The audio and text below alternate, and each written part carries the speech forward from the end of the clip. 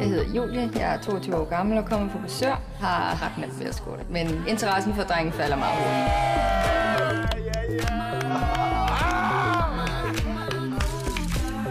Det er det samme fucking mundlort, du lukker ud hver gang. Jeg synes, det er pisse fedt at have en fod i begge grupper. Du kan godt høre, at jeg skifter lejr nu, ikke? Ad, hvad jeg ligger bare, bitch. Who run the world, girls? Who run the world, girls? Og så kan jeg ikke mere.